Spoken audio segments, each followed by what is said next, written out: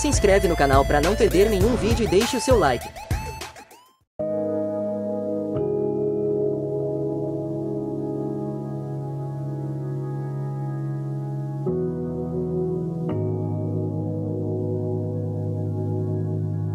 Deixe nos comentários quem você quer que eu ensine a desenhar no próximo vídeo.